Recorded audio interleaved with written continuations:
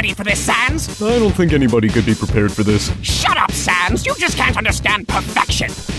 Attention, monsters! My name is Papyrus. I'm a skeleton made with magic bolt and lots of cool. If you need proof, then look at my biceps because they're wearing sunglasses, and that clearly means I rule. My cooking skills unrivaled when it comes to spaghetti with sauce and pasta noodles extra long. And not a single creature has survived the dish. But Frisk just walked right past it. Sans, don't interrupt my song!